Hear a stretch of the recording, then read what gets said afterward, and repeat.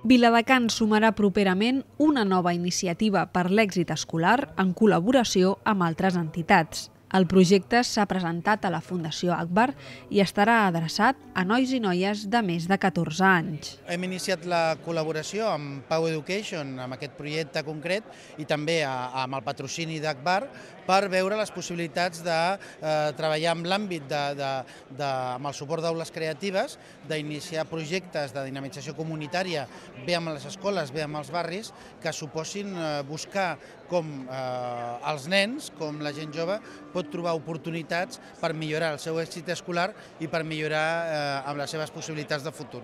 A partir d'una experiència personal de l'il·lustrador Miguel Gallardo s'origina el projecte Són Especialistes per fomentar el descobriment de les habilitats dels joves.